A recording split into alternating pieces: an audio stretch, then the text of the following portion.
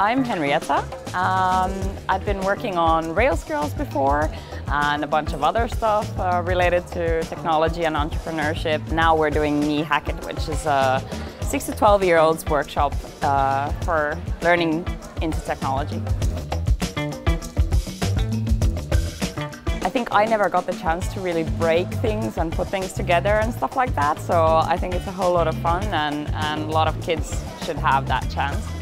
Well, what's pretty amazing is that when you give kids like the tools, uh, they have a bunch of curiosity and enthusiasm and everything like this already. So when you give them something and show them a bit like in that way, they'll, they'll learn how to do amazing things already the 3D printing because uh, I've always wondered how it was incredible to know that you could print 3D stuff. So I wanted to. It was incredible to see how it worked and how it does, did the job. I think best here is Little Bits and 3D. littleBits.